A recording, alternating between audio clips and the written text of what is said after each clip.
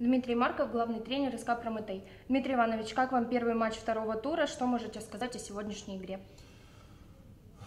Хорошая игра получилась. Э, Я ребятам же сейчас скажу, что восьмерку, которая сейчас играет во втором этапе, случайных команд не попадают, сюда попали достойные команды.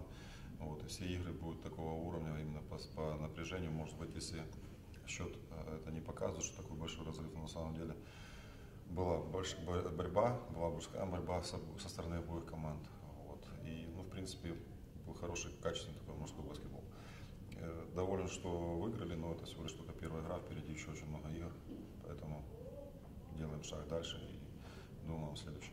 Владимир Жужи, главный тренер команды «Старый Луцкий университет». Владимир Иванович, как вам первая встреча с Каменской командой и довольны ли вы игрой своих подопечных? Ну, конечно, недоволен игрой своих подопечных.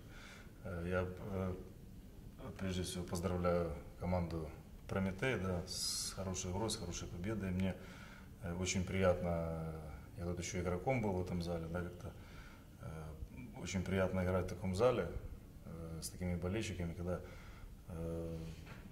игроки не слышат тренера, да, хорошая такая поддержка, мне очень понравилось. И, конечно, я недоволен, безусловно, результатом, но у нас свой путь, мы, мы, нас ребята такой полупрофессиональный в этом сезоне клуб, у нас ребята играют э, все местные из Луцка, поэтому мы, в принципе, э, строим команду на будущий сезон, поэтому многие наши ребята вообще впервые столкнулись с такими сильными оппонентами, да, все-таки э, ростер команды Прометей вызывает уважение, как минимум, по, по именам. Ну и, в принципе, по качеству игры очень было все неплохо.